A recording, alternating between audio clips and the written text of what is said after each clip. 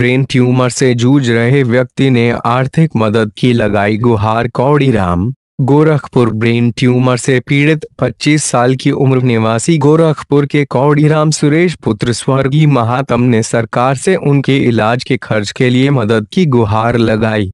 पिछले साल दिसंबर में सुरेश के परिवार वालों को उनकी बीमारी का पता चला। सुरेश के बड़े भाई का कहना है कि हमारे पास इलाज के लिए पैसा उपलब्ध नहीं है। जिस कारण हम लोग इलाज कराने में असमर्थ हैं।